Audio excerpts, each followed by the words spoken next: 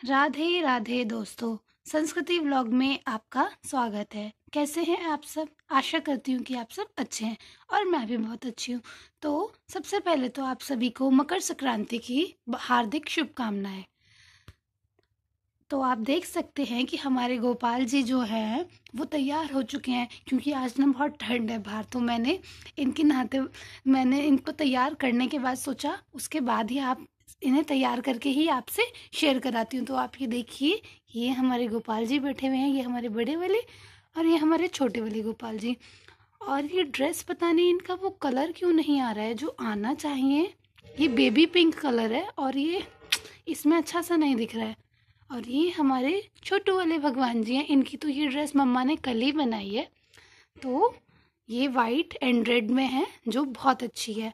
तो जैसा कि आप सभी देख सकते हैं कि पूजा तो हमारी हो चुकी है और हमारे गोपाल जी बहुत सुंदर लग रहे हैं। और सर्दी है तो मैं इनका बहुत कम ही श्रृंगार करती हूँ। मतलब कुछ भी एसेसरीज ऐसी कुछ नहीं देती हूँ मैं इनको कि जिससे इनको प्रॉब्लम हो।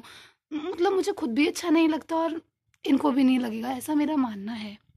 तो अब जैसे कि आप सभी को मैंने बताया कि अब इनकी पूजा हो चुकी है तो अब इन समय है हमारे इन्हें भोग लगाने का। तो भोग में आज देखते हैं कि क्या क्या है।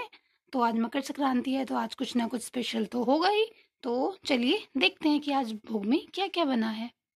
तो आप देख सकते हैं कि आज मकर संक्रांति है तो आज के लिए भोग में है मूंगफली गज्जक और ये कुछ ड्राई फ्रूट्स और ये फल और ये हमारा माखन, जो माखन और फल तो खैर रोज ही होते हैं और ड्राई फ्रूट्स भी रोज ही होते हैं, बस ये मूंगफली और ये गज्जक जो आज मम्मा ने अलग से इनके भोग के लिए रखी हुई है। तो आज इन सभी का इन्हें भोग लगेगा।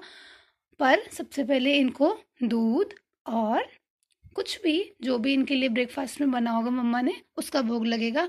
और ये हम माखन का भोग लगाएँगे, उसके बाद इन्हें ये सब चीज़ों का भोग लगेगा। मतलब जैसे मैं रोज करती हूँ, उसके बाद ये मकर संक्रांति का होगा। तो इसके अलावा कुछ ये सामान है जो मम्मा ने निकाला हुआ है।